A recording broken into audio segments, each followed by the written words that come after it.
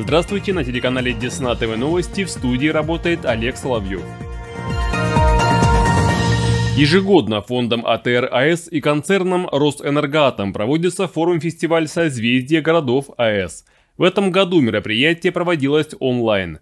Съемочные группы и команды блогеров проекта побывали в 12 атомных городах.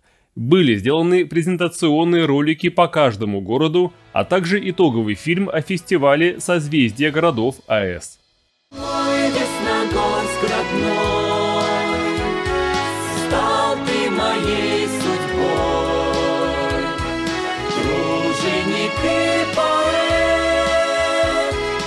В рамках этого мероприятия проводился и конкурс «Лучшее муниципальное образование 2020 года». 24 декабря на заседании Совета фонда АТР АЭС стали известны победители.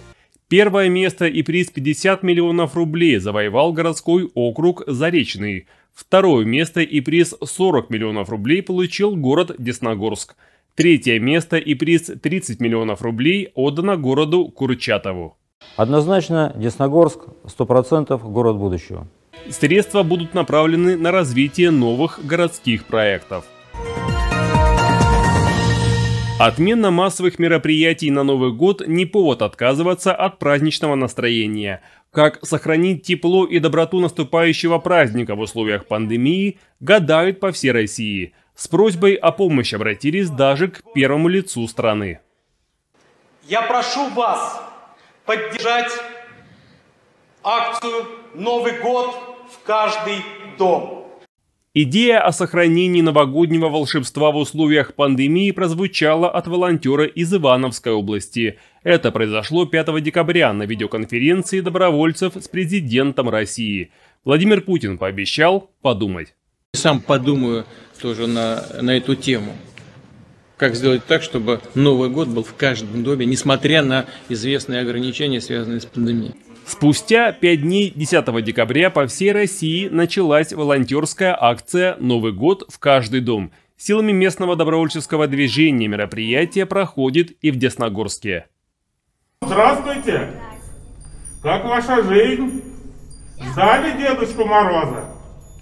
Ждали. А снега ждали на улице? Очень ждали. Ну вот мы и пришли.